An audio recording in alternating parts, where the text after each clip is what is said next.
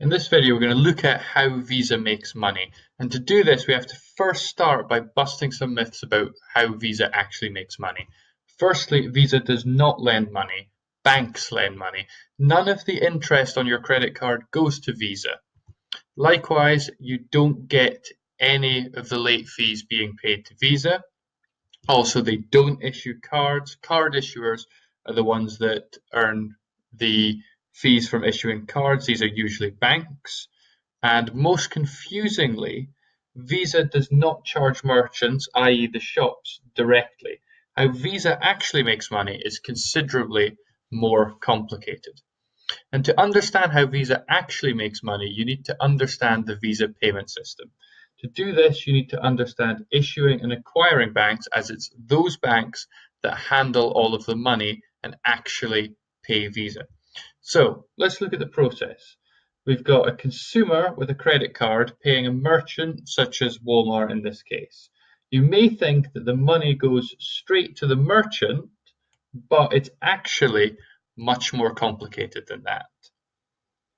So this is where the issuing and acquiring bank actually comes in. The acquiring bank is the merchant's bank and the issuing bank gives you your card you pay your bill to them, the issuing bank, and they may give you some sort of incentive like cashback or points.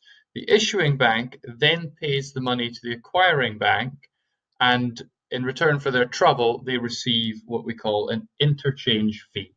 The merchant earns sales revenue from the purchase, but the acquiring bank applies what we call a discount rate, meaning that not all of your money that you pay goes to the store. This money is principally divided between the two banks and Visa. So this is where Visa's money is starting to creep in. So let's look at the same idea, but we're going to put some numbers on it. So we've got exactly the same setup as before. We have, say, $100. So you've paid $100 to the store and you put that on a credit card. So the issuing bank's going to get some interest. See, the interest is going to the bank, not to Visa. Then only $98.30 roughly is going to actually be passed on. Uh, $1.70, which is the interchange fee, usually 1.7%, it varies depending on various factors. That's going to go to the issuing bank. We then have $2 of fees that are going to be deducted, so we've got a discount rate of 2%. So you've spent $100 and the merchant has actually only received $98.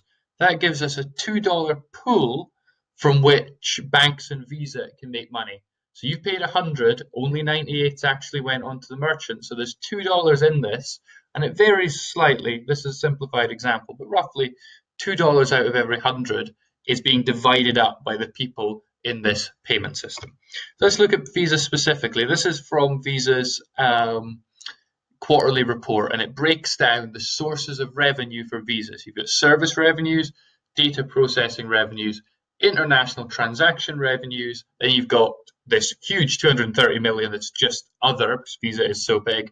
And then lastly, you have this uh, number at the bottom for client incentives, and that number is negative.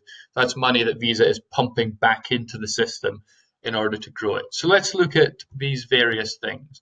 So Visa is fundamentally a network that is connecting all of these different banks together. And Visa doesn't do this as a charity, it wants to get some money from this. So it's charging fees for the authorization, the clearing of those payments, and the settlement of the payments. And it's also charging for network access. So that's data processing that you see in the Visa 10Q is roughly 0.1%. So that's a kind of base number to go with. So $1,000 that would mean that um, well, one percent of a thousand is ten, so about one dollar out of every thousand is going on data processing and going straight to Visa. Very rough. Then you've got service revenues, which is charged to the member banks just for maintaining the network, and those fees are linked to total volume. So as payments increase around the world, as people stop using cash, the revenues of Visa and the service revenues business are expected to increase. The next thing you've got is international payments. So we've got this same diagram from before, but let's make a slight modification. So let's say we've got Walmart, which is an American company, and we replace that with Morrisons, which is a UK supermarket. And I don't know who Morrisons banks with as an acquiring bank, but let's just imagine it's Barclays because they have a nice shiny building.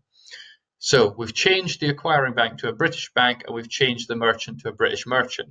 But you've still got a Bank of America card, so it's an American um, issuing bank. You've got your American account associated with that, and you work in dollars. Visa can now make quite a substantial amount of money out of these transactions and much more profitable because what you find is the discount rate on these transactions is bigger, larger interchange fee, and so fees are taken out of this by Visa for processing international payments. So they get um, additional fees from that. And also you've got a currency conversion. You've got dollars into pounds and Visa makes a spread on that transaction. And lastly, for completeness, we should mention what this other was. You've also got fees from account holder services, fees for using the Visa trademark and licensing that trademark. And you've also got various other businesses that generate freestanding revenue that Visa has acquired.